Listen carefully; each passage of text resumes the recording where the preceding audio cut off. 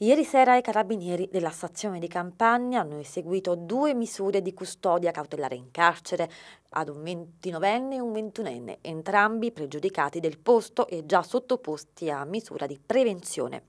Gli stessi sono ritenuti responsabili di un furto in abitazione perpetrato a Campagna nel pomeriggio del 22 maggio durante l'assenza del proprietario. Le rapide indagini dei carabinieri hanno permesso di individuare, grazie anche ai sistemi di videosorveglianza, i due che sono ora nel carcere di Forni in attesa del giudizio del GIP.